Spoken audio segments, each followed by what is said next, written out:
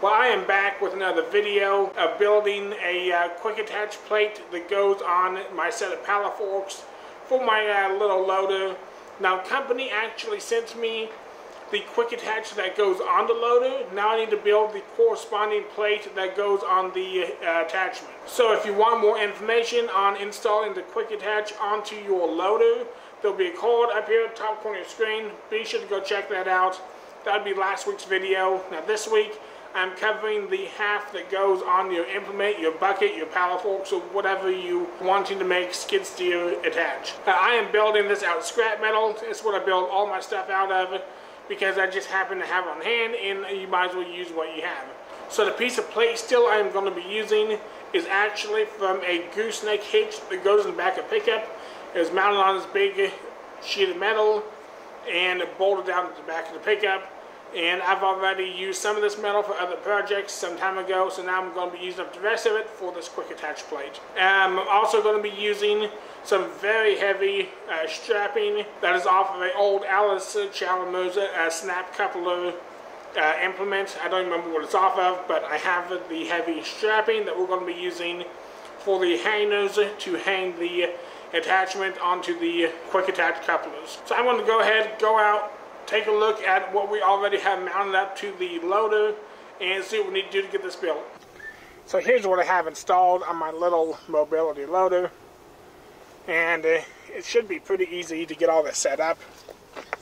We have the levers here that lift those pins and we'll lock it into place. That plate still I have is going to go against the face of these plates here and uh, the uh, heavy strapping I have is what's going to hang right up top here and it all should hopefully work out quite well.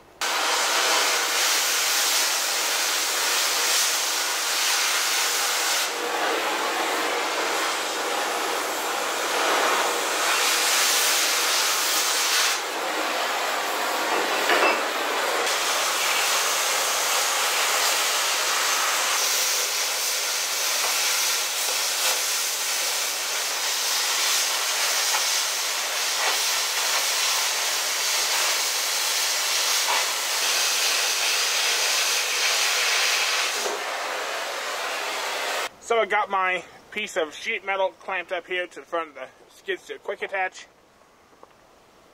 And these are the blocks of steel I'm welding up on top here. And you can see in how it has the overhang here. And that's what's going to hold my attachment on.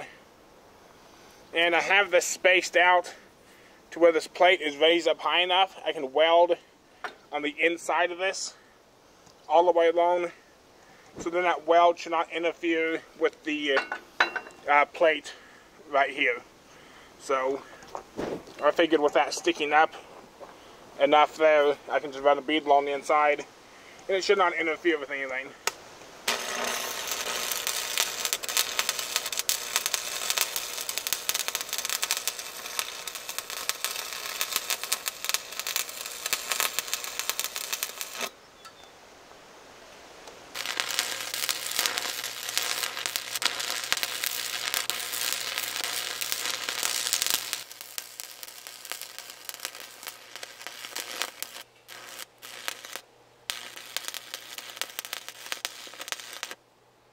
Well, I finished my welds on these top pieces up here. And now the plate hangs up here on its own. Uh, my next step is having a piece of steel that comes right down here against the bottom of uh, the quick attach there. And it just so happens I had these pieces of steel off of the Allis Chalmers uh, hitch just kind of earlier in the bent to the correct angle It'll just set right up there. I can weld it right here along this edge. And it just fits that bend absolutely perfect. So I'm going to go ahead and get those welded on. And then I get my loops of steel welded on back here for my pins to go through. And then weld it all to the pallet fork frame. And I am done. Which is good because it is hot out here today.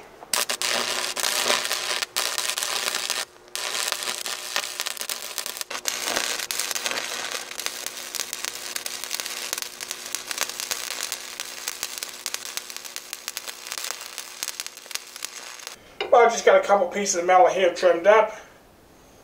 And uh, these are going to be uh, my locks for my pins to go through. Well, I now have my locks welded in place. My pins to go through. And so I believe I am now officially ready to uh, weld this plate to my pallet forks.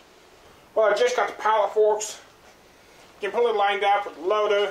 It's completely square and it all should be ready to weld up. I really lucked out and these big heavy pieces of steel right here, they slip underneath this channel on my pallet forks so I can weld that all solid. And not only is that welded, but it is going to be lifting underneath this channel. And so that's really going to give a lot more support.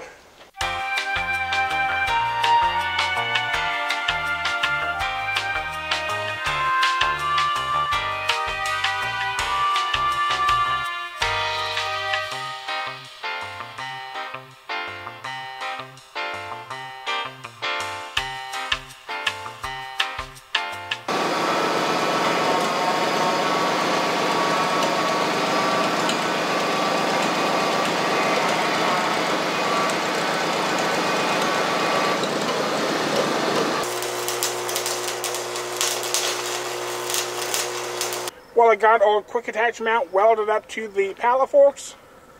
And I believe we're ready to uh, get it hooked up and see how it works.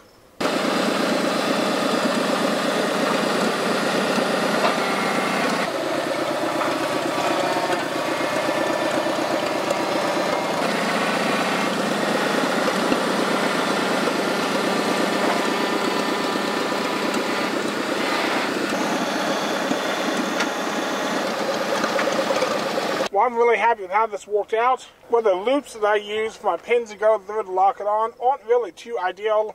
I'm not really too worried about it with this mobility loader because uh, being this is pallet forks and uh, I'm not really going to be uh, putting down much down pressure at all. And being this loader is front wheel drive, if you do put down down pressure, then you can't go because obviously the front tires don't have any traction. So if you're building something for skid steer or anything that's going to have some down pressure, I recommend using a better uh, loop for it to lock onto, but I'm not really too worried about this. I am going to uh, grind down a lot of the stuff I cut the torch. I just haven't had time to mess with it yet. And I will get this painted. Uh, one thing I am going to do differently is I'm going to cut out that plate steel and I'm going to cut it up with flush with this uh, framing right here because I do not think of it. But when you raise the, the pallet forks up in the air, it makes it terribly hard to see because that sheet metal's in the way. So I'm probably going to just get that trimmed up. It's not really too big of a deal. But besides that, I think we're ready to go. So that's probably going to be doing it here for this video. Be sure to go check out my other videos on this channel of uh, mounting the quick attach plates onto the loader and also building those pallet forks. Should be called top corner of your screen and uh, go check those out. Don't forget to subscribe, like, comment down below, and I'll see you next week. Thanks for watching.